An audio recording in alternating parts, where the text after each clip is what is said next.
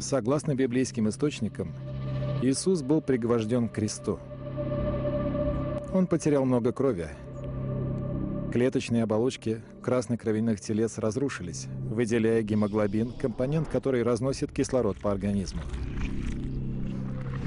Когда гемоглобин распадается, то образуется билирубин, субстанция, которая окрашивает кровоподтеки в желтый цвет. Анализ показал, что в пятнах крови содержится большое количество билирубина. Данный факт подтверждает версию распятия.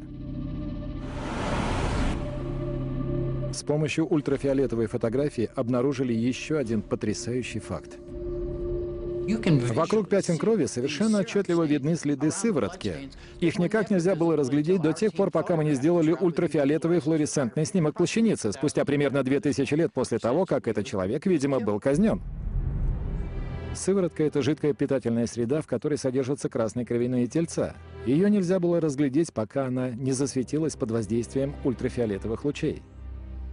Ни один средневековый художник не мог предугадать изобретение ультрафиолетовой флуоресцентной фотографии и решить, вот я возьму и скрою эти следы сыворотки, чтобы их нашли лет эдак через 700. Да бросьте.